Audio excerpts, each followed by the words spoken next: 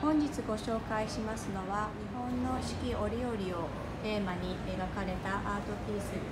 になります。夏の風物詩でもある線香花火の涼しげな金魚の涼を感じられる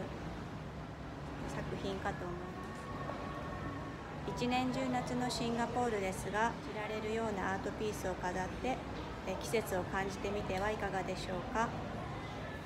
ちらはモノクルジャパンによる、えもの日本全集になります。こちらも、えアート作品とともにインテリアとして置いていただいても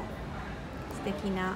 ブックかと思います。ただいまこちらの、えメインテーブルにて、えギフトにぴったりの、え商品ばかりを集めてご紹介させていただいております、えー、ぜお店にお越しください。